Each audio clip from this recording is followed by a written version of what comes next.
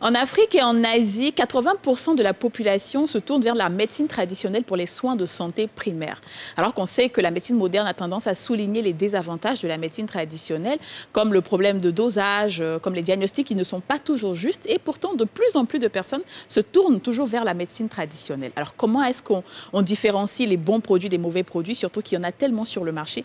C'est de ça qu'on va parler aujourd'hui dans ce tout nouveau numéro des femmes d'ici. Asseyez-vous très bien, ça commence tout de suite. Thank you.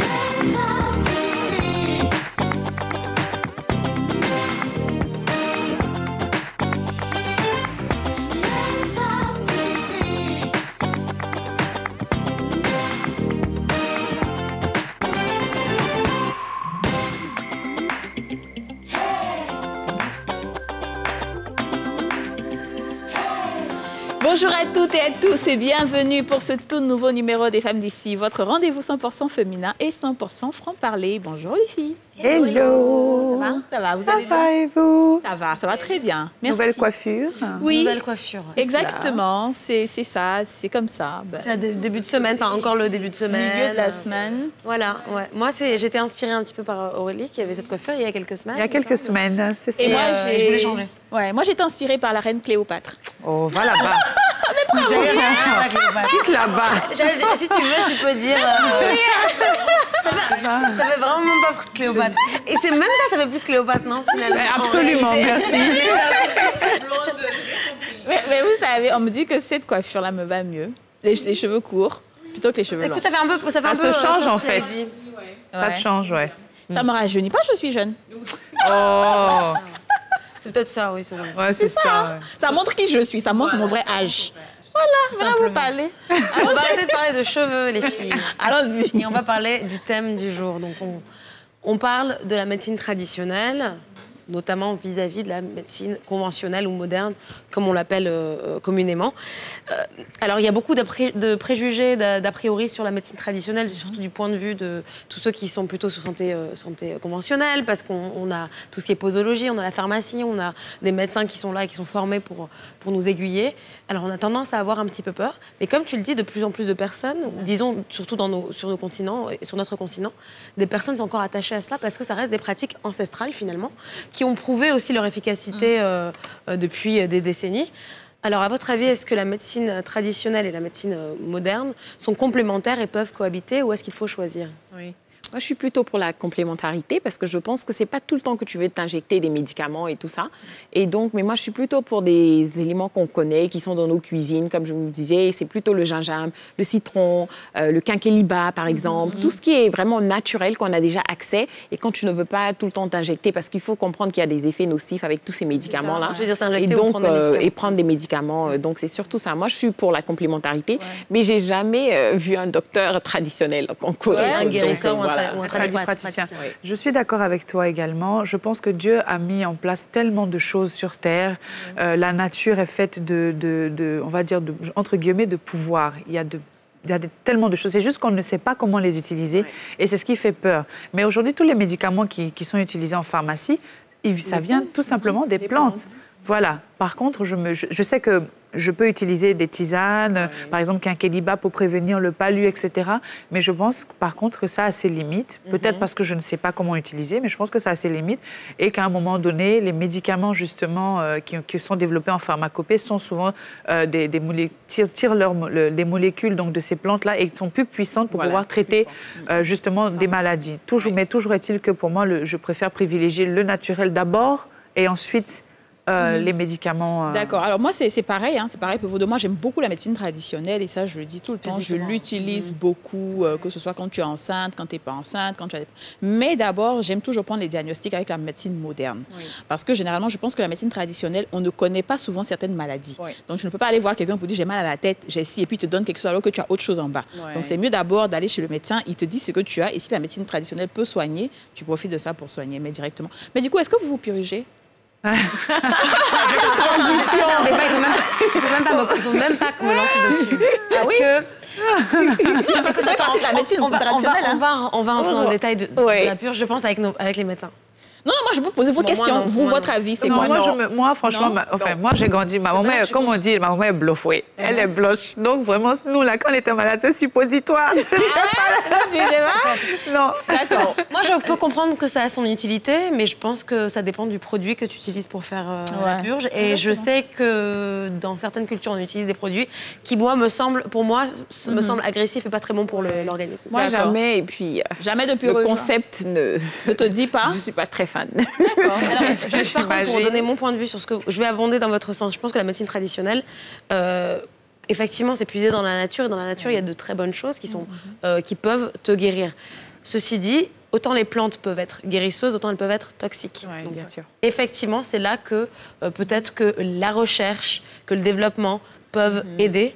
Et, et, euh, et finalement, en fait, même l'Organisation mondiale de la santé reconnaît euh, la médecine traditionnelle comme une médecine à part entière, mais il faut que ce soit fait de manière euh, beaucoup plus professionnelle, ouais, beaucoup plus organisée, et euh, qu'il y ait des essais pour savoir vraiment ce qu'il y a des effets secondaires aussi. Tout ça, des C'est essais. surtout tout ça. ça, ouais. Donc, comme d'habitude, les filles, on va porter la question sur la place publique. On vous a demandé entre la médecine traditionnelle et la médecine moderne, que, choisissez-vous? On va écouter euh, quelques-unes de vos réponses dans ce micro-trottoir.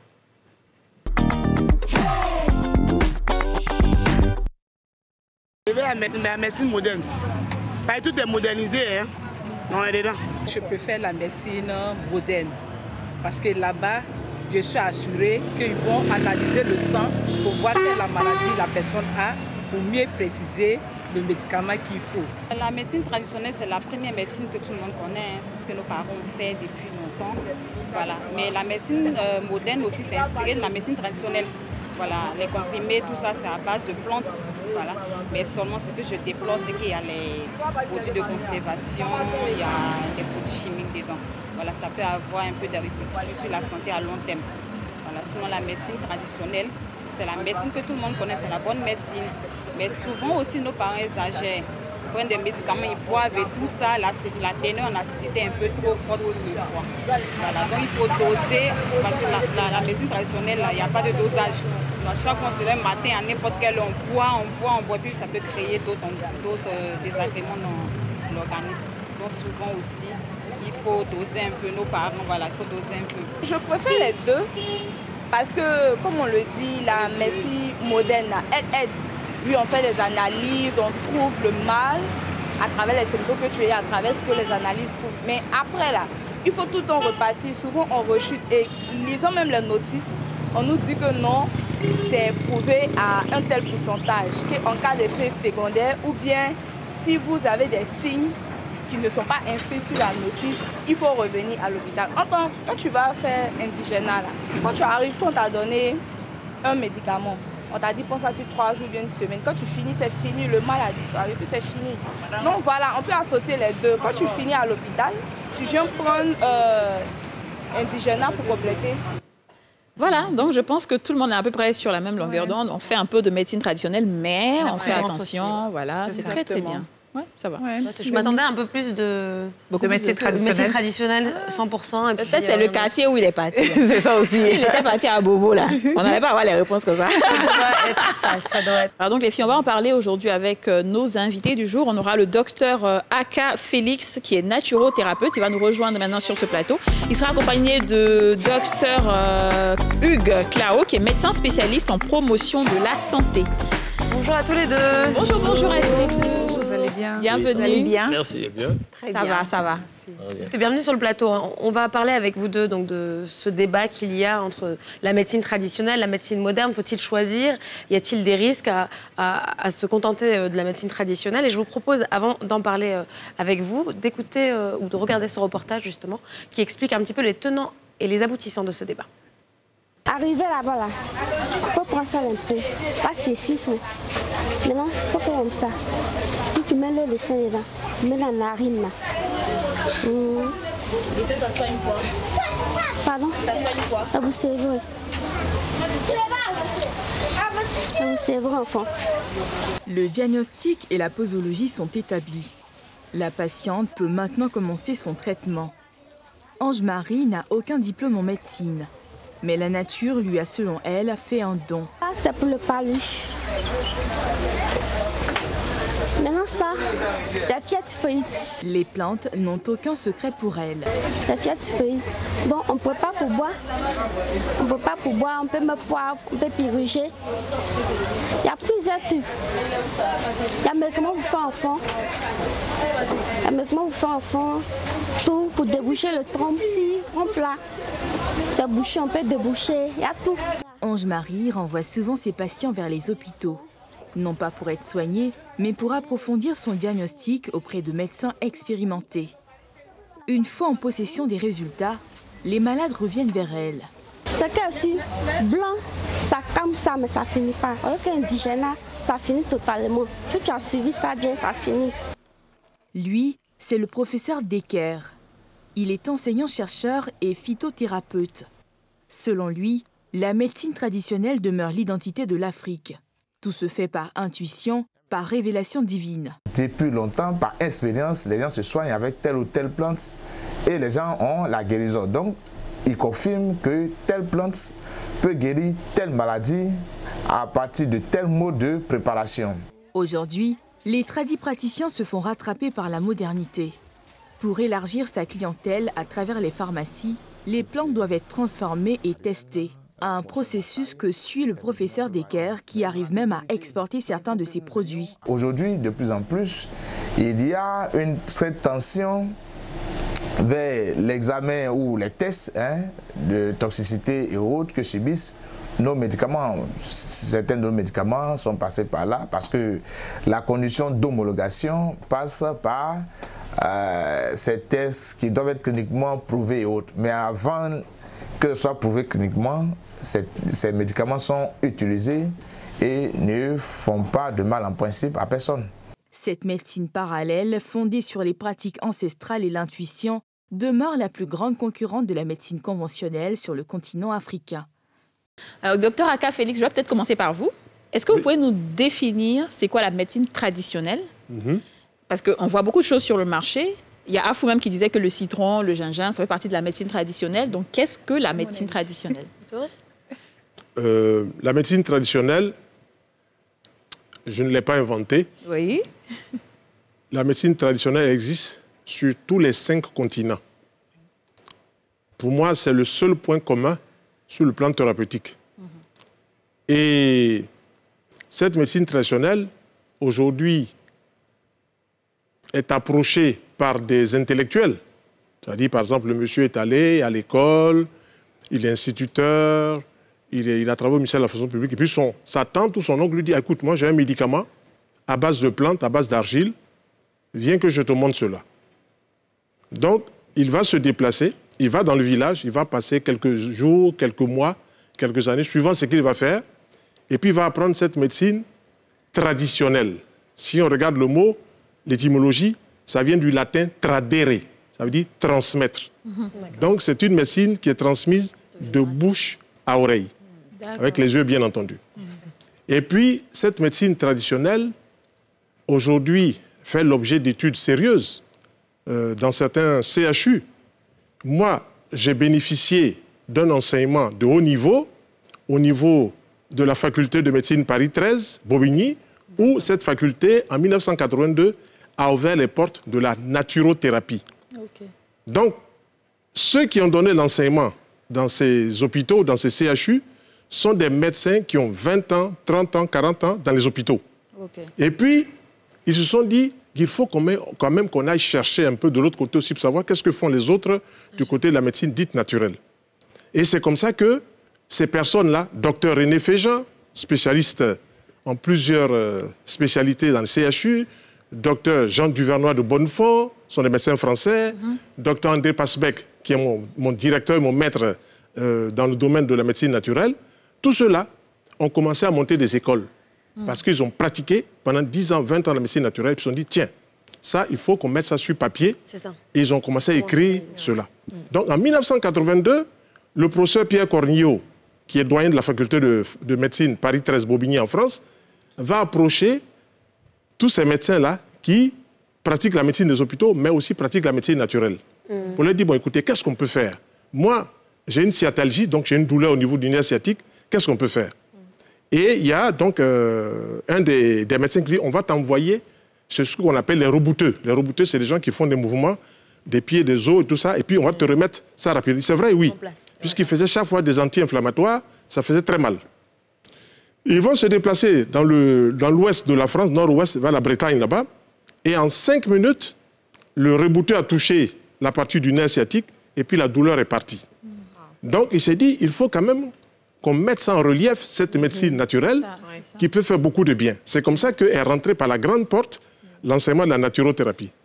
Moi, je suis bénéficiaire de cette médecine naturelle parce que ceux qui m'ont formé sont des médecins qui ont été à Londres, qui ont été aux États-Unis, où il y a des grandes écoles, et qui ont donc appris cela et qui sont venus maintenant monter leur école sur la France. D'accord. Est-ce qu'on peut dire que votre cas est un peu particulier? Parce que je, quand je pense à la vendeuse lambda de feuilles ou de produits traditionnels dans les rues, est-ce qu'elle a une formation? Est-ce qu'elle sait quels sont les effets nocifs? C'est pour ça qu'on dit médecine traditionnelle. Oui. Donc comment est-ce qu'on a... Qui a une formation, qui n'a pas une formation, elle reçoit un enseignement. Elle reçoit une formation qu'elle donne à sa fille, à son oncle, à son neveu. C'est ce qu'on appelle la médecine traditionnelle. Mhm. Est-ce que cette médecine est scientifique? Oui, puisqu'on a des résultats. Aujourd'hui, le ministère de la Santé a mis sur place une cellule qui est dirigée par le docteur Croix Houlet. Mhm. Et cette, cette euh, cellule est chargée de répertorier tous les naturaux et tous les thérapeutes sur le territoire ivoirien. Si, si, alors, quand, on, dit euh, naturo et tradithérapeute, on parle donc des personnes qui pratiquent cette médecine traditionnelle. Est-ce que les personnes qui sont sur le marché en train de vendre des produits dont on n'est pas sûr euh, ben, écoutez, font partie de euh, cette liste de Je prends par exemple la cola. Moi, je sais que son nom scientifique, c'est cola nitida. Moi, je le sais parce que j'ai étudié. Mais le tradithérapeute qui est sur le terrain, lui, il sait que la cola, là, on prend ça pour stimuler le cœur. C'est un, un stimulant du cœur, il le sait parce qu'il a vu son père le faire. Il voit par exemple que la poudre qui est utilisée, séchée, mélangée du beurre de karité, fait rentrer les hémorroïdes. Il a appris cela. C'est nous, maintenant, qui commençons à étudier cela, qui savons qu'il y a des principes actifs. Par exemple, il y a un médecin aux États-Unis, Dr. Boranger, il est cardiologue, donc il s'occupe du cœur. Il a soigné peut-être 10 000, 20 000 personnes rien qu'avec du piment ce qu'on appelle le piment de Cayenne, le piment rouge. Si, si, ouais, le piment de Cayenne. Pourquoi? Parce que dans le piment rouge, il y a un principe actif, c'est aujourd'hui qu'on le sait, qui agit sur le cœur, qui est cardiotonique, la capsaïcine. Ouais. Cette capsaïcine va agir. Qu'est-ce qu'il fait quand une, personne fait une crise de choses cardiaques avant de l'amener à l'hôpital? Il prend un verre comme ça, il met de l'eau tiède, il prend une cuillerée à, café de, de, ce, de ce piment écrasé, il mélange, il fait boire à la personne. Quand la personne va vous compter 30 secondes, la crise est passée. Alors, il peut envoyer la personne à l'hôpital. Voilà où c'est intéressant. On va, peut-être réagir le médecin. Moi, ce que je voulais lui demander, c'est que vous avez fait des études hein, de médecine. Est-ce que vous partagez euh, son point de vue? Bon, euh, merci. Euh, je pense que le docteur Aka a fait l'historique. Mais ce que je vais ajouter pour, pour, pour expliquer un peu, c'est que la médecine traditionnelle, quand on parle de médecine traditionnelle, on parle d'une pratique. Mhm. Voilà, une pratique médicale qui est héritée des savoirs générationnels, donc transmis, comme il a dit, de bouche à oreille, et qui est destinée à prévenir, diagnostiquer et guérir mhm. des dysfonctionnements qui peuvent être d'autres physiques, psychologiques, mentaux et même sociaux. Mhm. Voilà. Et quand nous, on fait allusion à la médecine traditionnelle, comme vous, comme la médecine moderne, il y a des spécialités.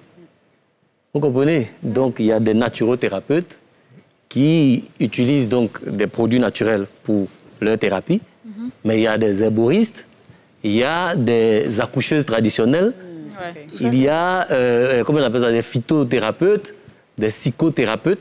Donc, en fonction de ce qui est utilisé pour pratiquer sa médecine, on vous catégorise. Et comme tout secteur, vous allez trouver des gens qui sont formellement constitués et il y en a d'autres qui sont dans l'informel. Voilà. Donc quand vous parlez de la dame qui vend sur le marché, certainement, elle est encore dans l'informel. Et comme le docteur le disait, docteur Aka le disait, il n'y a pas une cellule, mais c'est un programme. Un programme national pour la promotion de la médecine traditionnelle. Est-ce qu'elle est, apte, cette qui femme Qui essaie voilà, d'accompagner toutes ces personnes-là qui ont hérité de ce savoir et qui peut être bénéfique donc, au bien-être de la population. pour essayer d'encadrer donc la pratique de ces personnes-là. Et pourquoi il faut l'encadrer, cette pratique? Parce qu'il y, a des... Pourquoi vouloir encadrer la pratique? D'abord, première chose, il faut savoir que le praticien de la médecine traditionnelle est un acteur, on, même, on, le classe parmi les ressources humaines en santé. Donc c'est un acteur clé de la santé. Je vais vous dire pourquoi. Vous savez, euh, l'utilisation d'un service de santé ou d'un soin est déclenchée par un besoin de santé. Et le besoin de santé, en général, il n'est pas à l'hôpital. Il naît dans la communauté, là où on est né, là où on a grandi, là où on a évolué. Et dans certaines communautés, ces personnes-là sont les personnes ressources. Parce que, en fait, le premier dispositif qui vous oriente vers le choix d'un système de soins, il est vraiment profane. Ce soit le père, une tante, un voisin qui a une expérience hein, avec un praticien qui vous dit, bon, allez ici par rapport au mal que vous expliquez, parce que vous pouvez avoir la solution. Donc, ces personnes-là, dans leur communauté, sont des références en matière de soins. Oui. Donc, la médecine moderne a pris conscience qu'effectivement, il y a des personnes qui les pratiquent. Donc, ils sont, ils sont importants. Mais là où on a le problème généralement, c'est qu'on dit que dans la médecine traditionnelle, il y a un problème de dosage. Les gens, quand ils te donnent des médicaments marché, on ne te dit pas, faut boire ça là trois fois par jour. On te dit, bois seulement. Si, si, si. Mhm. Donc, et qu'on ne sait pas trop comment Et on te dit, on te parle jamais d'effets secondaires. Ouais, bah, dans tous les cas. La médecine moderne existe, existera. Si même la médecine moderne n'existait pas, il aurait fallu l'inventer. C'est ça. Pourquoi? Il y a un créneau, un enseignement scolastique dans lequel l'étudiant qui rentre en première année va suivre un certain circuit. Il va arriver peut-être à la septième, huitième année, et puis il va commencer à faire des spécialités. Mais il va toucher ce qu'il voit, ce qu'on appelle les maladies. Et puis, ces médecins dont je parlais tout à l'heure se sont rendus compte que on pourrait ajouter cette médecine naturelle parce que tout simplement, elle a aussi sa place dans ce vaste système sanitaire. Et c'est comme ça que euh, le ministère de la Santé a monté une structure qui regarde les tradis thérapeutes, les naturothérapeutes pour voir ce que les gens peuvent apporter. Et aujourd'hui, nous, dans notre conception de la santé, il faut qu'il y ait une convergence des thérapeutiques. C'est-à-dire qu'il faut qu'on mette ça ensemble pour voir ici, là, qu'est-ce qu'on peut faire. Là, là, qu'est-ce qu'on peut faire. Et moi, je reçois, ça fait quoi? J'ai 41 années de pratique. Mhm. J'ai 65 ans d'âge. Et j'ai vu passer beaucoup d'eau sous les ponts. Donc, je ne peux pas m'asseoir ici pour raconter des choses que je n'ai pas vues. Tous les jours, dans ma pratique, il y a des médecins d'hôpitaux qui m'envoient des gens. Mais, du coup, quand on parle de dosage des médicaments, est-ce que comment vous faites pour, pour euh, doser vos médicaments? Vous fabriquez vos propres médicaments? Les médicaments fabriqués, oui. Si je prends par exemple, je vous donne un exemple. Si quelqu'un pose un problème de cœur, pose un problème de cœur, je connais des plantes. L'aubépine, c'est une plante qui est l'ami du cœur. Son nom scientifique, c'est Crataegus oxyacantha. C'est connu scientifiquement. D'accord. Je prends cette plante, et puis je vais prendre une autre plante, le gui, je prends une autre plante, la vigne rouge, je vais mélanger cela, je donne à la personne. Bien dosé, la personne commence à boire cela. Mais la naturothérapie se différencie de la tradithérapie par le fait qu'elle propose une alimentation, qu'elle propose d'autres soins que la médecine traditionnelle ne propose pas. Ok, donc l'alimentation. Euh, moi, ce que je voulais demander, c'est quelles sont les limites de la, de la médecine traditionnelle euh, Est-ce qu'il y a des maladies, par exemple, je prends l'exemple du cancer, est-ce que la médecine traditionnelle peut réellement soigner ce genre de maladie ou est-ce qu'il faut vraiment euh, aller vers la médecine moderne dans ce sens? Moi, je pense qu'il ne faut pas analyser la pratique de la médecine traditionnelle du point de vue de ses limites. Je pense que si on fait ça, on risque de perdre beaucoup de choses. Ce qu'il faut surtout comprendre, c'est que c'est une pratique qui a un mode d'organisation, un mode de transmission, et qui doit collaborer avec une autre pratique qui a, lui, ses codes. Voilà. Donc, vous savez, quand vous devez collaborer avec quelqu'un, il faut que chacun comprenne ce que l'autre fait. Voilà.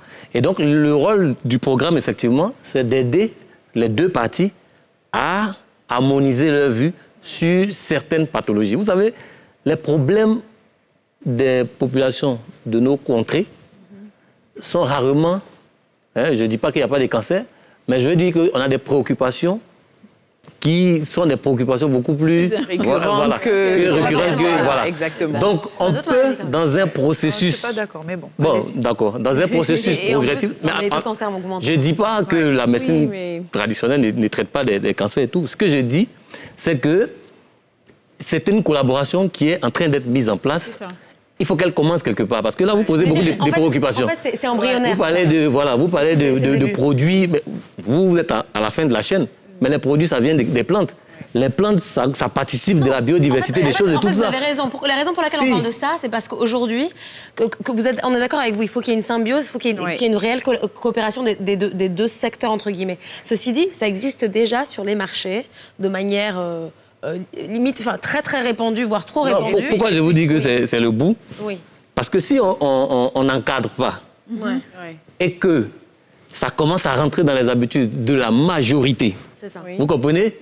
À un moment donné, on ne pourra même pas contrôler les sources de production parce que ça vient des plantes. Ça. Les gens vont détruire, on ne pourra pas renouveler, mm. et à un moment donné, on va se retrouver avec d'autres problèmes. Donc il faut encadrer depuis la, la, voilà, l'organisation, la, création. Donc aujourd'hui, dans les districts sanitaires, vous allez voir des organisations mhm. de praticiens de la médecine traditionnelle qui s'organisent pour faire des champs botaniques et tout, tout ça pour cultiver des plantes.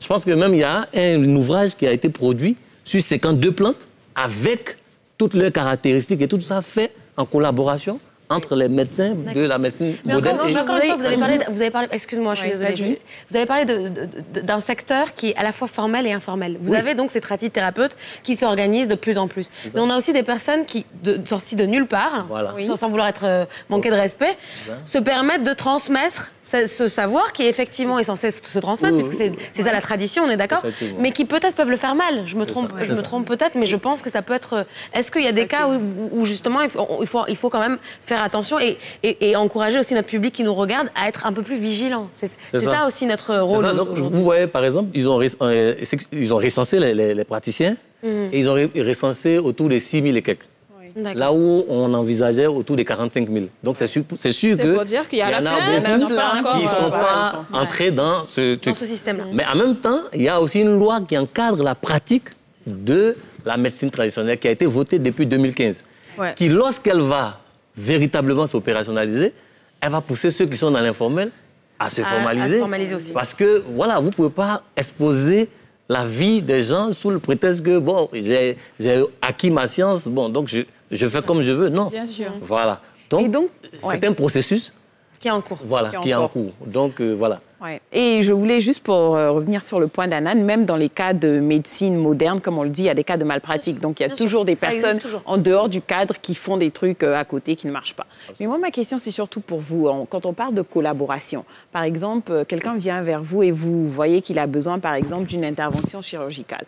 Et je me dis que pour ça, il faut vraiment des conditions, il faut que ce soit vraiment propre et tout ça. Est-ce qu'il vous arrive maintenant de les diriger vers les hôpitaux et puis peut-être vous les prenez après pour faire des soins? Comment est-ce que ça se passe dans ce, dans ce si, par exemple, une personne vient de se fracturer le, le membre inférieur, le membre supérieur, le naturothérapeute que je suis ne pratique pas la chirurgie. Mhm. pour moi, c'est tellement évident qu'il faut amener la personne D'où les limites à la, à la, Voilà. Il ne faut pas, faut, pas, faut pas prendre sur sa tête des choses qu'on ne peut pas supporter. C'est clair. Tout simplement. clair. Euh, je prends des exemples. Il y a des dames qui sont venues me voir. Elles ont fait euh, une première grossesse avec, euh, comment on appelle, une césarienne, une deuxième grossesse avec une césarienne, une troisième grossesse avec une césarienne. Mais en fait, le problème, à ce niveau-là, c'est le praticien qui reçoit la femme qui décide ce qu'il va mhm. faire. Mhm. Moi, elle me dit, mais je suis à ma, quatre, à ma troisième grossesse, ma quatrième grossesse, est-ce que naturellement, on peut permettre à une femme d'avoir une un accouchement normal J'ai dit, en ce qui me concerne, oui. Hmm. Je lui propose d'utiliser le clou de girofle. Le clou de girofle est connu scientifiquement, Eugenia cariophyllata. C'est bien connu.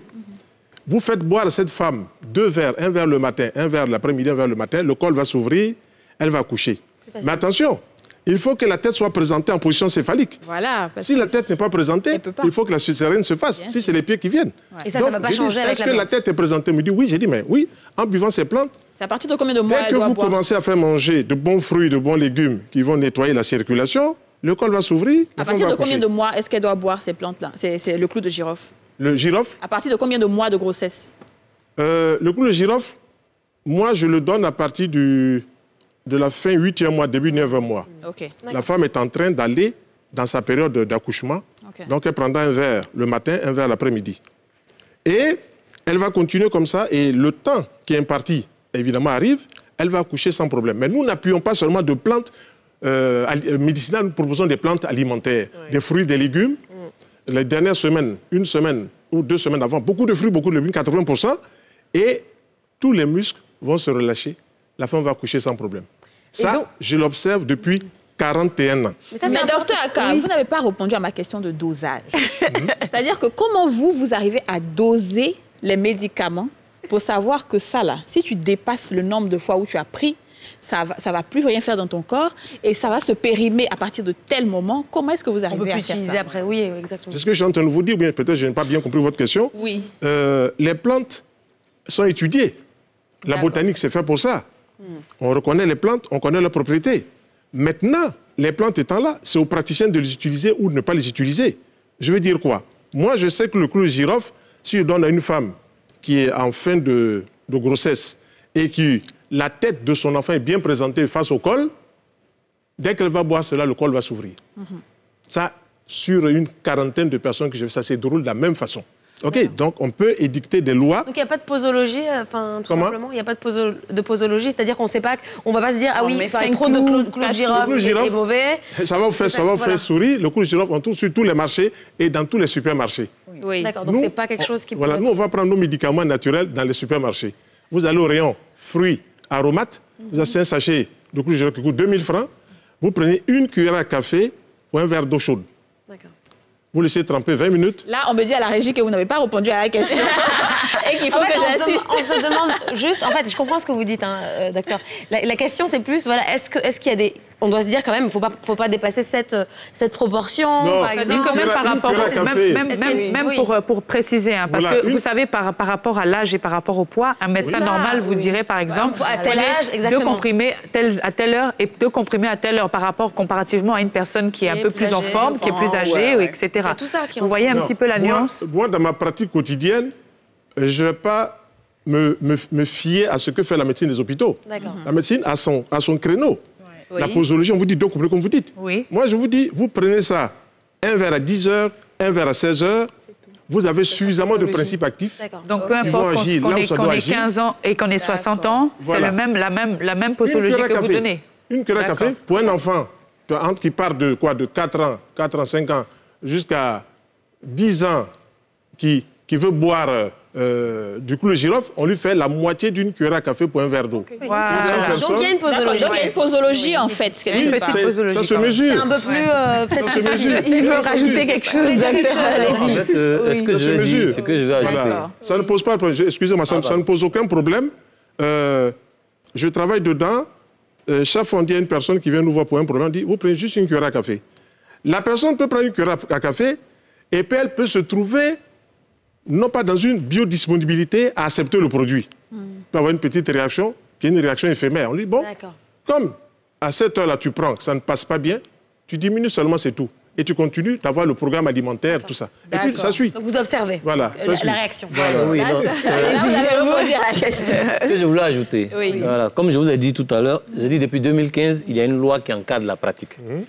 Et dans cette loi-là, il est prévu effectivement que les praticiens de la médecine traditionnelle développent des produits qui ont un certain nombre de caractéristiques, notamment le dosage, la posologie, l'indication et tout, et les effets secondaires.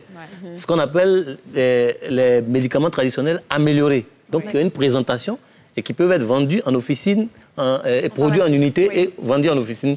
Voilà. Alors attendez, euh, on va continuer à discuter. Je sais qu'il y a beaucoup de choses à dire.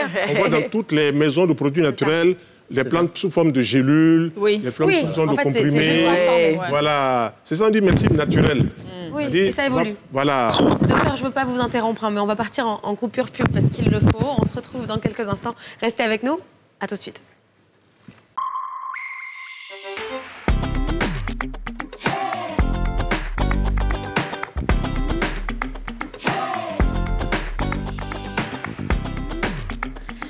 De retour sur le plateau des femmes d'ici. Merci de nous suivre depuis le début. Et si vous venez de nous prendre en cours aujourd'hui, on parle de la médecine traditionnelle. Nous sommes avec euh, Dr Aka Félix, qui est naturothérapeute, euh, et Dr euh, Hugues Clao. Il est, il est médecin spécialiste en promotion de la santé. Alors, j'ai envie de vous poser une question, mais en même temps, je vais vous raconter une histoire. Dr Aka Félix. Pourquoi pas? Alors, je vous raconte. J'ai une connaissance que je connais très bien, qui était malade elle avait des problèmes de santé, elle avait des nausées, des vertiges et tout et tout. Elle partait tout le temps voir les, les, femmes qui vendent les médicaments là. Elle prenait, elle prenait, elle prenait, ça allait, après elle rechute, ça va, après elle rechute. D'accord? Neuf mois plus tard, quand elle s'est résolue à aller voir les Blancs, parce que c'est comme ça, on dit dans les villages, plutôt des Blancs, quand elle est partie, on lui a dit qu'elle avait une insuffisance rénale. Et qu'elle aurait pu éviter l'insuffisance, parce que là, elle est obligée de faire une dialyse à vie, maintenant, alors que si au début, elle était déjà allée euh, consulter un vrai médecin, elle n'aurait pas eu ce problème-là. Donc, on va à la question du diagnostic. Est-ce que vous pensez que dès qu'on a un problème, on va d'abord voir le médecin à l'hôpital des Blancs pour qu'il nous dise ce qu'il y a ou on peut se tourner vers les, femmes du marché tranquillement? Ou les tradithérapeutes C'est très simple. Euh, en, en 41 années de pratique, tous les patients qui arrivent chez moi sont des patients qui sont passés dans nos hôpitaux. Si un patient arrive qui me pose mille et un problèmes, je lui demande d'aller faire tous les contrôles à l'hôpital. Parce que moi, je ne suis pas habilité à faire des diagnostics. C'est ça. Voilà, je suis naturothérapeute, je ne suis pas médecin des hôpitaux. OK? Il va faire son diagnostic, il vient. Et comme j'ai été formé par des médecins d'hôpitaux, c'est pour ça que je disais tout à l'heure que si la médecine des hôpitaux n'existait pas, il aurait fallu l'inventer. Mhm. OK? Il y a quand même un créneau sur lequel il faut marcher et tout ça. Mhm. Quand la personne vient, pose maintenant le problème sur ce qu'elle a comme, comme euh, pathologie, ah, je dis, bon, moi, dans ma pratique, voilà ce qu'on fait. Il y a un programme alimentaire. Hmm. Quelqu'un me dit qu'il est constipé. Mais écoutez, il faut réformer l'hygiène alimentaire, ça va de soi. Merci. Mais vous voulez prendre des laxatifs, c'est bien, mais c'est insuffisant. C'est très important ça. Réformer. Dire. Non, parce que c'est vrai qu'en plus, dans nos pays, on aime beaucoup dire Ah, j'ai des problèmes d'estomac. Qu'est-ce que tu manges d'abord? Qu'est-ce que tu manges pour commencer? C'est l'hygiène alimentaire fait partie aussi des, de ces pratiques. La naturothérapie, c'est cela. Voilà. La naturothérapie, c'est l'alimentation. On dit bromato, aliment en grec, thérapie, les soins. Mhm. Phyto, les plantes, thérapie. Aromathérapie, massothérapie, musicothérapie, chromothérapie, tout ça, c'est ça la naturothérapie. Tout ce que la nature a de bon, on propose. Ok. Et si la personne vient avec un document qui nous dit qu'elle souffre de palu ou elle souffre d'hépatite virale, nous avons un document sur lequel nous travaillons. À ce propos, je vais raconter l'histoire. Il y a un hépatologue, un médecin d'hôpital qui est hépatologue, qui s'occupe du foie, qui est venu nous trouver. Il avait une stéatose, c'est-à-dire la graisse sur le foie. D'accord. Lui, il n'a pas pu soigner cela. Et puis il m'a demandé ce que je pouvais faire. J'ai dit, voilà mon approche. Je lui ai donné une hygiène alimentaire, puis je donne les plantes qui sont connues dans le codex pharmacologique pour agir sur la sphère du foie. Il y a le desmodium qu'on trouve partout ici. Voilà, il y a le chardon-marie, l'artichaut. C'est pas, c'est pas sorcier. Donc, si la personne est rentrée dans ma démarche, qu'elle suit le programme, elle débouche forcément sur un rétablissement. Mm. Et c'est ce que ce médecin pathologue a suivi ma démarche et il est arrivé au bout de deux mois avec un rétablissement. D'accord. Donc, il y a quelque chose de fondamental et de vrai dans ce qui est proposé. Sûr, bien voilà. Mais il doit passer, toute personne qui vient nous doit passer à l'hôpital. Pour nous, tu viens avec, tu, tu as mal à la tête, c'est flou. C'est flou il faut aller faire peut-être un électroencéphalogramme, il faut faire quelque chose comme ça pour qu'on soit situé sur ton état. À partir de là, maintenant, nous proposons notre approche. Tout simplement. Alors, docteur, euh, les, questions aussi qu'on peut se poser, c'est, euh, enfin, au-delà du diagnostic que, que docteur Félix vient d'exposer, c'est aussi, euh, il y a beaucoup de préjugés autour de la, des médecines, de la thérapie, de la médecine traditionnelle. On a tendance à penser aussi, à juste ou, à, ou peut-être, enfin, à juste titre peut-être, que c'est la médecine finalement du pauvre, entre guillemets. C'est-à-dire qu'on n'a pas vraiment les moyens. En zone rurale, par exemple, il n'y a pas tous les centres de santé à disposition. Donc, on fait avec les moyens du bord, on fait avec les, avec les pratiques un peu ancestrales. Et du coup, finalement, c'est vraiment une, question économique. En fin de compte, vous en pensez, pensez quoi de ce point de vue? Bon, euh, d'accord. Je comprends parfaitement. Euh, ce que vous dites, c'est qu'il y a des stéréotypes et il y a des préjugés. Hmm. Voilà, parce que je vois beaucoup de stéréotypes qui reviennent dans vos interventions. C'est même dans nos questions. Vous voyez la médecine traditionnelle, vous voyez la femme qui vend sur le marché. Oui, parce que ça, fait ça. Mais nous, on n'appelle pas ça la médecine traditionnelle. Voilà. Mais, pourtant, tout le monde fait, Parce que les gens pensent que c'est de la Voilà, c'est pas ça la médecine ah, traditionnelle. donc ça dit que ce qui est sur le marché n'est pas la médecine traditionnelle. Dites bien quoi la médecine Voilà, quand vous voyez le euh, docteur Aka traditionnel, pensez à docteur Aka. Voilà, il n'est pas sur le marché, il a un cabinet avec une pratique qui est encadrée par les codes. Voilà. Quand vous partez sur le marché, c'est comme si moi je vais acheter mon médicament, dans, la rue. Ah, c'est pratiquement la même chose. Vous avez raison, mais on peut pas, en fait, en termes de pratique, les gens vont, font ça. Voilà, et c'est ça qu'on veut pas. Donc ce n'est pas de la médecine traditionnelle que d'aller acheter des médicaments sur, le marché. comme ça. D'accord, on est clair. Ça, au moins, c'est très clair. Il faut le préciser. Ah, mon ventre, il fait comme ça. non, c'est plein de ventre. Ça, c'est plein de ventre. De ventre. C'est important, en fait, de Parce que les plaies de ventre, ils sortent comme ça. Maintenant, ce que vous demandez, c'est ça. Là où on parle de collaboration, c'est un peu ça. Comme je vous ai expliqué tout à l'heure, quand le, le, le, système profane vous a, vous a orienté dans le dispositif, vous allez trouver un autre système qui vous oriente, qui est le système professionnel. Soit à l'hôpital, soit dans une unité de pratique de médecine traditionnelle. Comme par exemple chez le docteur. Quand vous allez arriver, il va vous dire, il va vous poser un certain nombre de questions, il va vous dire, bon, tiens, ce que vous présentez là, ça ne relève pas de ma compétence, ça relève de telle compétence, allez-y, voilà. Vous comprenez? Donc, il va vous référencer. Donc, c'est cette collaboration-là, effectivement, qui est, qui est encouragée. Parce que vous allez trouver des contrées où, depuis qu'ils sont nés, il n'y a que ça. Il n'y avait que ça, avant que l'hôpital n'arrive. Vous ne pouvez pas leur demander de, de changer, de changer brutalement avec. Voilà. Mais comme cette personne ressource est capable de comprendre que son intervention se limite à un certain niveau, mm. en collaboration avec la médecine moderne, il dira, bon, pour telle chose, je pense qu'il faut aller voir tel aspect, tel aspect. Et voilà, donc cette, chose. Et il y, y, a des moments aussi où, au niveau de la médecine moderne, on se retrouve avec toutes les, tous les essais qui n'ont pas pu permettre d'avoir le résultat, on, se peut voilà, se tourner vers. Donc, c'est dans les deux sens. Moi, je voulais revenir un peu sur votre recensement dont vous avez parlé un peu plus tôt, où on a eu 1000, 6000 personnes, le recensement, du, gouvernement qui sont en train de faire. Et j'aimerais, par exemple, comme on disait plutôt, euh, la médecine traditionnelle un peu plus répandue. Tu as ta tante qui te dit, par exemple, euh, des, prendre des clous de girofle. Euh, je connais très bien ce médicament-là. Comment est-ce qu'on les rémunère en termes de je ne sais pas, il n'y a pas de code autour de, par exemple, si tu es un docteur traditionnel et que tu fais la posologie ou bien que tu vas pour une consultation, comment est-ce que ça se passe à ce niveau-là? Ah euh, Donc c'est là où on revient sur sa question de coût. Parce qu'en fait, effectivement, c'est une réalité, c'est que ce n'est pas la médecine des pauvres. Oui. Mais c'est une médecine accessible. Accessible. c'est beaucoup moins cher, c'est ça. Voilà, parce que c'est ça, c'est pas parce que j'ai un Siemens C25 que ça veut dire que je n'ai pas les moyens. En tout cas. Voilà, je peux avoir les moyens et décider d'avoir un Siemens C25. Donc, il y a des gens qui vont là-bas, malgré tous leurs moyens, mais qui estiment que c'est ça. C'est avec cette médecine-là qu'ils ont grandi, ils ont, ils, ont, ils ont pratiquement des expériences et tout.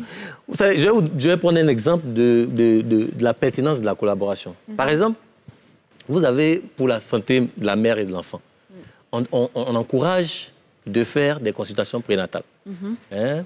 Et on encourage quatre consultations prénatales. Ça. vous voyez, pour faire quatre consultations prénatales, ça suppose que la première consultation a eu lieu au moins dans le premier trimestre. Mhm. Or, quand vous partez dans des contrées régulées, les femmes sont plus à l'aise à, parler à la, coucheuse qu'à aller dire à une sage-femme qu'elle est enceinte. Ouais, bien Puisque la grossesse est souvent entourée d'un mystère et tout, tout ça. Donc, rapidement, vous allez avoir cette accoucheuse-là qui va avoir rapidement l'information mhm. et qui, si elle est dans un, dans un encadrement pour une collaboration avec le, la médecine moderne, pourra la référer pour commencer ses consultations prénatales. Pour la rassurer, pour lui, pour lui dire, ben, va voir, parce que moi, quand ce sera mon tour d'intervenir, il faut que je comprenne tout ce que tu as et tout ça pour être à l'aise de le faire. Sûr, bien sûr. Vous voyez un peu? C'est un peu ce, ce, ce, modèle de, de, de, de euh, collaboration. En tant que vous êtes médecin et vous prescrivez, quand un patient vient vous voir, vous lui prescrivez toujours des médicaments qui sont de la pharmacopée moderne. Et je vois que vous êtes quand même d'accord avec cette médecine traditionnelle. Donc pourquoi vous, en tant que médecin, vous ne, vous ne conseillez pas aussi, à ou vous ne prescrivez pas des médicaments traditionnels à vos patients, par exemple? Oui, on va arriver là, au moment où on, on se sera assuré parce qu'en fait, c'est ça. Il y a, la, y a la, déontologie qui encadre mon, mon, intervention. Donc, je ne peux pas me lever pour dire bon, écoute, va chez ma tante Adjoa, elle a un médicament, prends-le. Vous êtes d'accord que quelque part, les médicaments modernes aussi font, quelque, font, font, font plus Oui, que mais le, les médicaments modernes, ça suit un process. Mhm.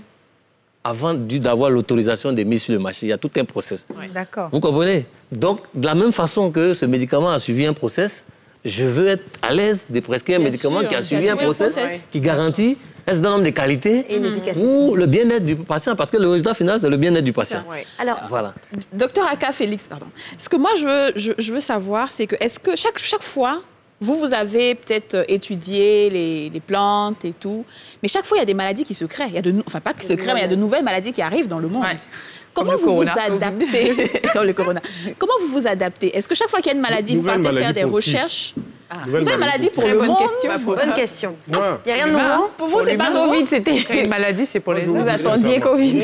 On remarque, c'est un COV, ils existaient déjà. D'accord. Dites-nous sincèrement, on vous écoute. sincèrement Les SARS. que tant que l'être humain ne sera pas mené à une réforme d'hygiène de vie Mm. et d'alimentation, Très il va se trouver face à ce qu'on appelle de nouvelles maladies. Parce que dès qu'on parle de maladie, on parle d'acidification du sang. Le sang est sale. Il faut ramener dans les paramètres d'un sang qui a un pH acido-basique équilibré. Si vous mangez plein de viande, plein de poissons, pas assez de fruits, vous acidifiez le sang. Eh, Donc vous allez vers des maladies acidifiantes. C'est ça, on vous dit de bien manger depuis. Pour moi, c'est évident. Mon sang, oh, mon sang. J'ai, un autre problème, c'est qu'aujourd'hui, même dans les plantes le- que l'on rencontre, dans les, les- les plantes qui poussent et même les légumes, il y a aussi des pesticides que les gens utilisent. Comment vous pouvez être sûr que ce que vous prescrivez, ça vient justement d'une plante qui a été élevée, qui n'est pas euh, quelque chose de, de- voilà, qui, qui est bio en fait? Parce qu'aujourd'hui, on ne sait pas. Avec tout ce qui Le est bio, comme le bio commence à arriver en Côte d'Ivoire. Il y a certaines personnes que je connais qui sont à Boaké, qui font des tomates bio, cultivées dans des bonnes normes. Mais le problème, c'est quoi? C'est un problème de culture. Un problème de culture mentale. Si on ne vous a pas éduqué à manger des fruits et des légumes, dès votre jeune âge, quand vous prenez de l'âge, vous avez 15 ans, 20 ans, 30 ans, 40 ans, c'est difficile vrai. de faire passer cela. C'est vrai. Ouais.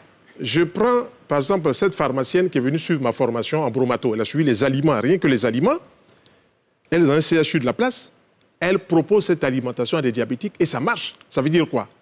Qu'il ne faut pas qu'on accuse comme ça les fruits d'être responsables du diabète, puisque les diabétiques que nous recevons n'ont jamais mangé de fruits. Non, c'est pas ça en plus. Il y a un problème. Donc nous disons ceci, que c'est vrai que la glycémie peut monter, mais la glycémie monte lorsque monsieur mange du foutou et de la viande. C'est deux aliments qui ne se mélangent pas ensemble. Il faut un aliment tampon pour tamponner le foutou et la viande. Il Le faut des foutu, on légumes. le mange avec quoi alors? Quand on mange le foutou avec la viande, il faut des légumes pour Faut les tamponner. légumes, Des les gars. légumes dans la sauce arachide Mets-les de côté, mets-les à côté dans une petite ça, assiette, c'est ça fait rien. C'est bon, je vous manger. je vous En fait, faut manger équilibré, c'est pas autre chose. Et toutes les personnes qui sont passées nous voir, qui mangent l'arachide, qui mangent la graine, qui mangent toutes les sauces que vous voulez, dès qu'elles ont commencé à introduire des légumes dans leur sauce, leur hygiène organique a commencé à changer. Bien sûr. en bien. Bien sûr.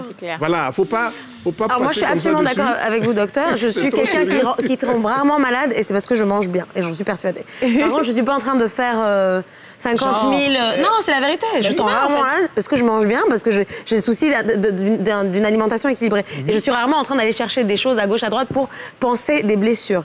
Alors, ce qu'on entend aussi souvent, c'est que, par exemple, culturellement, la purge, c'est ça? Il faut dire purger parce qu'on ne comprend pas tu dis la purge, purger. Ouais, mais je comprends pas. La Purger. purge.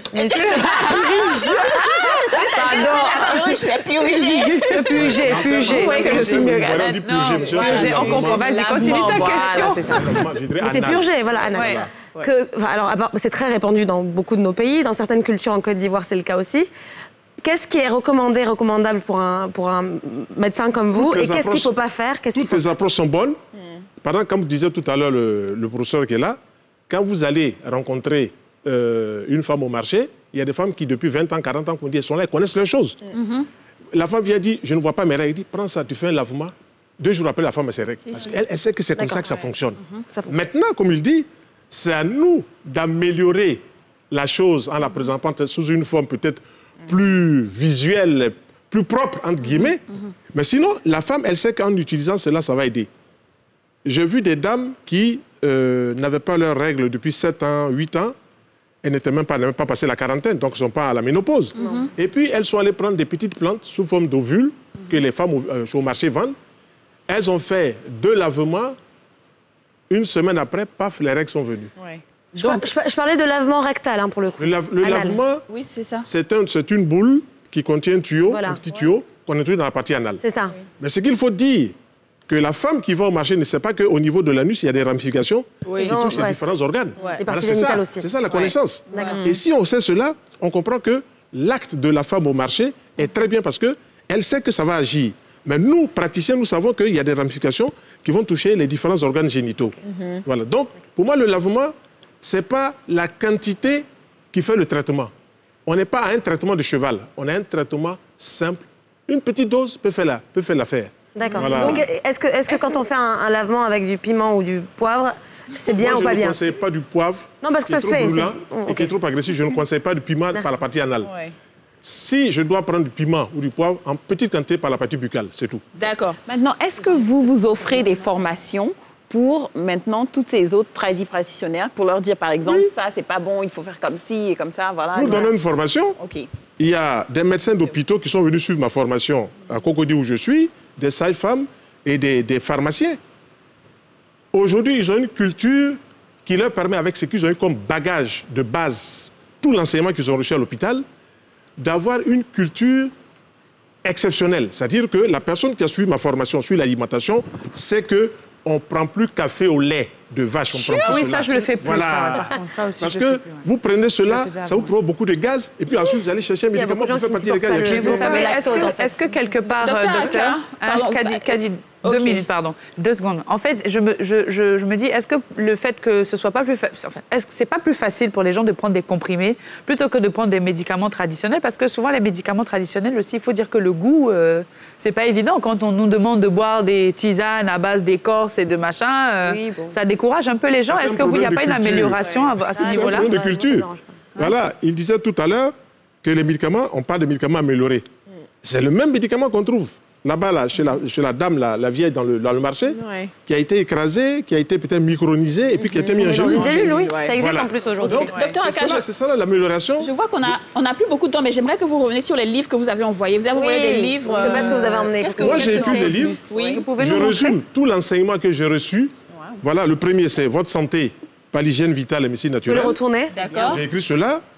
La pharmacie naturelle du bon Dieu. J'explique dedans le clou de girofle, la cannelle, l'eucalyptus, la citronnelle, euh, l'ail, l'oignon. Tout ça, c'est à notre portée. D'accord. Mais qu'est-ce que ça contient Voilà, tu disais donc le monsieur qui va prendre de l'ail, il sait que l'ail, ça fait ceci. Le monsieur qui va prendre la citronnelle, il sait que la citronnelle fait ceci. Ouais. C'est tout ça qui est expliqué dedans. Et où est-ce qu'on peut Voilà. le trouver? Où est-ce qu'on Voilà. peut trouver ces livres? dedans. Voilà, ici. C'est des cadeaux? Les- Je- Il y en a. Ah, Pour qui nous regardent, Oui. où est-ce qu'ils peuvent s'en s'en À notre centre procurer de santé. À notre centre de santé à. Cocody. C'est vous qui donnez l'adresse ou bien c'est moi qui donne l'adresse Donnez l'adresse, s'il vous plaît, je vous en prie. Allez-y. Je vous en prie. Je ne sais pas s'il faut donner. Je donne le numéro. Allez-y. 07 90 09 83 05 69 21 97 avec le, le, le nouveau numéro ajouté dessus C'est ça. 07 05. Merci beaucoup. Merci beaucoup euh, à tous les deux. Mais en même temps, il y a une question pour, les, pour ceux qui nous regardent là. Quand vous parlez de nourriture, c'est qu'il ne faut pas associer. En Côte d'Ivoire, ici, on aime mélanger escargot, viande avec poisson fumé. Est-ce que ça On se peut fait? mettre tout ça dans la sauce, mais on mangera que l'escargot ou la viande ou le poisson. On mange pas les deux. Bon, autant, autant choisir un, je pense, non? Après, tout est question de... Bon, écoute, choisir. C'est- C'est ce qu'on appelle, on appelle ça la biochimie digestive. Si vous mettez la viande, poulet ou bœuf, que vous mettez l'escargot, c'est deux protéines, mais qui ne se digèrent pas de la même façon. Ah, Tout simplement. d'accord. Donc, chacun, chacun séparément. en Ah, fait. mais oui, si vous mettez de la viande et du poisson, c'est deux protéines animales, mais qui ne se digèrent pas de la même façon. Mais c'est le poisson fumé là qui fait que ça, ça c'est doux en fait. Ah, Kadi. Bon, allez, on va- on va- Merci, beaucoup. merci beaucoup. Merci à tous les deux. C'était un plaisir d'être avec vous. On, on se retrouve tout juste après une page pub. C'est intéressant.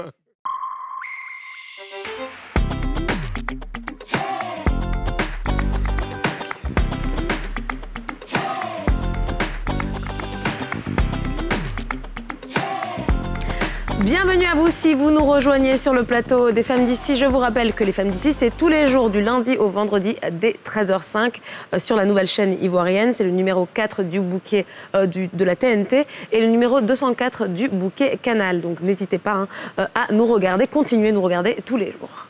À toi Aurélie. Alors oui, la chronique qui suit s'adresse euh, en particulier aux employeurs ou on va dire aux entrepreneurs qui veulent embaucher du personnel. Afou va nous donner quelques astuces pour embaucher les bons employés. Tout de suite. Exactement, les filles. Et que ce soit même pour votre entreprise personnelle ou même pour un collègue, parce qu'il arrive qu'on vous dit euh, d'aider avec le processus de recrutement d'un collègue, il y a, disons, cinq conseils clés que je pense qu'il faut vraiment aborder. La première chose, c'est de chercher au bon endroit. Euh, je vois souvent, par exemple, des affiches au coin de rue ou bien dans les marchés. Tu vas pas aller, par exemple, je sais pas moi, j'ai besoin d'un économiste, je vais pas aller me rendre au marché en espérant le trouver là-bas. Si je cherche quelqu'un pour gérer ma petite boutique, je vais pas, pas peut-être me rendre à l'université. Si je veux quelqu'un qui a à peine un Donc, c'est d'aller dans les bons endroits et de connaître les compétences des personnes qu'on veut et de savoir, bon, où est-ce que la population que je cherche à travers ce rôle-là se retrouve. Donc ça, c'est la première partie. La deuxième partie, c'est vraiment vous-même de vous préparer. La plupart du temps, quand on pense à un interview et tout, on pense au candidat qui doit se préparer, qui doit venir vers vous. Mais vous aussi, vous devez vous préparer. Et quand je parle d'interview, les gens pensent directement à un poste dans un bureau avec une veste et tout. d'embauche. Un entretien d'embauche, exactement. Et on doit le faire pour tout personnel. Vous me connaissez, moi, je suis très extra, donc tout mon personnel de maison, je, les, je leur ai donné un entretien. Ah, pour le personnel de maison aussi Mais exactement. c'est les gens les plus importants. Enfin, il y a, une conversation, quoi. Moi, je trouve que... Non, un, un vrai interview, c'est le personnel le plus important. Ils sont dans ta maison, ils regardent tes enfants. Moi, j'ai toujours, fait, moi, j'ai toujours fait bouche à oreille. Parce que c'est l'expérience. Oui, bouche à oreille. Comme elle dit, mais quand tu dis entretien, c'est quoi Un entretien, donc je prépare des questions. Par exemple. Une petite liste. Oui, et non, mais moi, je suis, je suis à fond. Et donc, et après, souvent, ça vous est jamais arrivé, elle vous dit, oh, OK, je suis allée en classe jusqu'en troisième. Je viens avec un petit texte et je lui dis, lis. Après, je lui fais une petite dictée. Mais après, moi, je suis un ah peu. Ouais. pourquoi C'est pour voir si elle te raconte. Euh, non, mais parce que, par exemple, je veux qu'elle puisse m'envoyer des messages sur WhatsApp. Je veux ah qu'elle puisse lire à ma fille l'histoire si je suis pas vite rentrée. Donc, je veux savoir qu'elle a un bon niveau d'études. Donc, je viens avec un petit test. Bon, envoie-moi ça par message. Je lis ça, je vais voir pour m'assurer que son niveau d'études, parce que je ne vais pas lui demander quand même un CV. Voilà, donc ça dépend. Si tu n'as pas un CV et que je n'ai, je peux pas appeler ton école pour vérifier, mm. donc il faut que l'entretien puisse au moins combler ces lacunes-là. Et c'est de poser des questions, par exemple, tu as des petits frères et sœurs. Vraiment, en fonction du rôle que tu veux, il faut savoir te préparer et avoir les réponses. Parce que si elle te dit qu'elle n'a aucun petit frère et sœur et qu'elle n'a jamais travaillé avec des enfants, ben tu t'étonnes si elle n'arrive pas à bien gérer tes enfants. Donc c'est à toi maintenant de poser ce genre de questions. Mm. Si c'est par exemple quelqu'un, tu veux qu'elle soit ton assistante et elle te dit, oh, moi ma maison est désordonnée, euh, non, c'est peut-être pas la bonne personne. Donc, c'est de vraiment vous-même vous préparer avec le type de questions que vous allez proposer à la personne en face de vous. Très important. Dans tous les domaines, au boulot et à la maison. À la maison, partout. Soyez organisés. Et donc, là, et voilà ce que vous parlez des références, justement. Ça, c'est l'un des moyens les plus sûrs. C'est de repartir vers leurs emplois précédents, les références, avec qui ils ont travaillé, qu'est-ce qu'ils pensent d'elles. Parce que ça, c'est au moins une source fiable, si vous connaissez même la source de ces références-là, qui vous dit que, bon, voilà, cette personne est bien dans tel et tel domaine. Et aussi sur la longueur, parce qu'un interview, ça dure 30 à 1 heure. Après, euh, elle peut être parfaite dans l'interview. Et puis après, euh, tu vois, pendant 30 minutes, elle peut quand même euh, essayer de masquer. Mais si quelqu'un a travaillé avec elle pendant un an, vous avez encore plus de chances d'être d'avoir assez d'informations sur la personne. Après, c'est de faire vos recherches en ligne. Ils ont toujours peut-être un profil Facebook, aller voir un peu ses habitudes, le type de photos, tout ça, ça, rentre en ah, compte. pas faux, la dernière chose qui est vraiment très importante, c'est euh, de rémunérer en fonction, bien sûr, du type d'emploi. Vous ne pouvez pas aller chercher quelqu'un qui a un doctorat et puis vous offrir 100 000. Mais ah. ça, je trouve que c'est vraiment, vraiment dommage. Déjà, il faut connaître le SMIC qui est à 60 000. Et en fonction, maintenant, plus vous demandez en compétences, en éducation, en expérience, vous n'allez pas demander quelqu'un qui a 10 ans d'expérience, qui a un Master 2 et vous voulez payer 150 000. Franchement, je trouve que ce n'est pas proportionnel.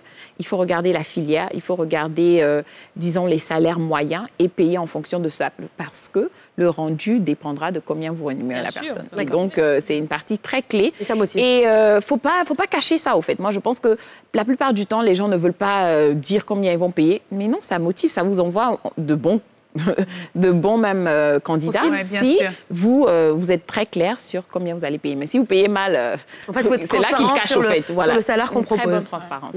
Et, et, dans la négociation, quand l'employé dit moi je veux pas que tu me payes ça, je veux que tu me payes ça parce que je vaux plus. Oui, le candidat, il, moi je dis toujours, il faut toujours négocier. et même dans un contexte, je vais pas venir te proposer 200 000 et toi tu, tu veux un million. Si je te propose 200 000, il faut toujours aller avec du 10 à 20% plus. Genre je veux peut-être 240 000 et après on peut essayer de négocier.